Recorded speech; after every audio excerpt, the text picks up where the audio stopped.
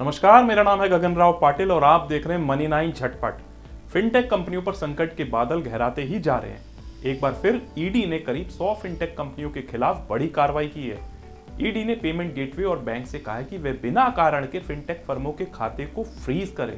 इसमें सभी भुगतान वेतन रोकने को कहा है। अब मामले को जरा ठीक से समझ लेते हैं। ईडी हैदराबाद ने दो हफ़्ते पहले पेमेंट गेटवे को एक सूची भेजी थी, जिसमें लगभग 100 फिनटेक खातों को ब्लॉक करने के लिए कहा गया था। ईडी ने इन कंपनियों को समन भी जारी किया है।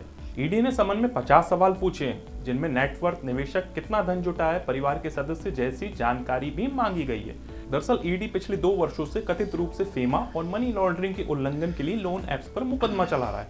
आरोप था कि ये ऐप एक शिकायत के बाद पुलिस जाँच के दायरे में आए ये ऐप कर्जदारों पर भुगतान के लिए गलत तरीके से दबाव डाल रहे थे।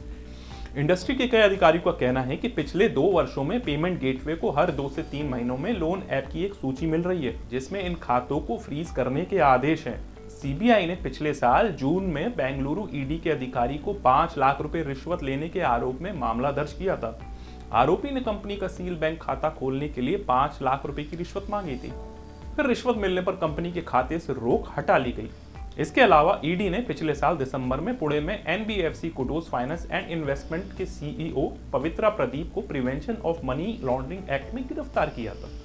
बीते दिनों ईडी ने कोविड महामारी के दौरान मोबाइल ऐप के ज़रिए बेहद ऊँची दर पर कर्ज देने से जुड़े मामलों में सख्त कार्रवाई की है।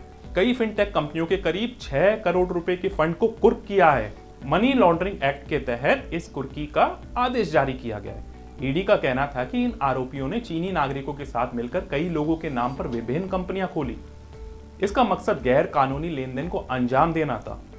इन कंपनियों ने cash master, crazy rupee, cash in, rupee, menu जैसे मोबाइल ऐप के ज़रिए कर्ज दिया और निवेश जुटाया। इन कंपनियों का गठन कुछ चीनी नागरिकों और इंडियन सीए के बीच साठगांठ के ज़रिए कोविड फैलने के समय एक साझा पते पर किया गया। इन सीए ने पैसे के लिए जरूरतमंद युवाओं के केवाईसी दस्तावेजों का इस्तेमाल कर कंपनियों के गठन में मदद की। युवा भारतीयों को कंपनियों का निदेशक और शेयरधारक बनाया गया।